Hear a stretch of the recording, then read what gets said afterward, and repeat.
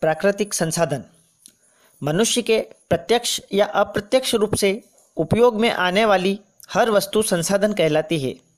जो संसाधन हमें प्रकृति से प्राप्त होते हैं तथा जिनका प्रयोग हम सीधा अर्थात उसमें कोई भी बदलाव किए बिना करते हैं, प्राकृतिक संसाधन कहलाते हैं।